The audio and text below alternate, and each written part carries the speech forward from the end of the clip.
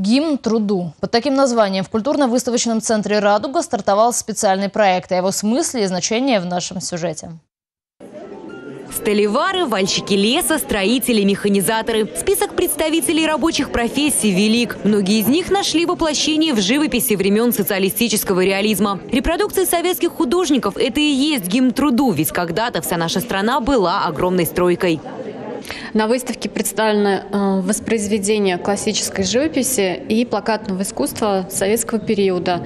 Э, представлены замечательные работы знаменитых русских художников Аркадия Пластова, э, Александра Самохвалова, Владимира Маковского, где запечатлена деятельность трудовая на стройках, на ткацких станках, на поле, Ретроспективу славных страниц трудовой истории писали и в республике. Уникальные фонды представил Госархив Чуваши и Музей Чебоксарского механико-технологического техникума. Строительство текстильного комбината, гидроэлектростанции на Волге, возведение новых жилых массивов в столице Чуваши и рекордные урожаи. Героические будни жителей тоже нашли отражение в нашем искусстве. Кстати, проект «Гимн труда» – победитель конкурса среди социально ориентированных некоммерческих организаций Чувашии.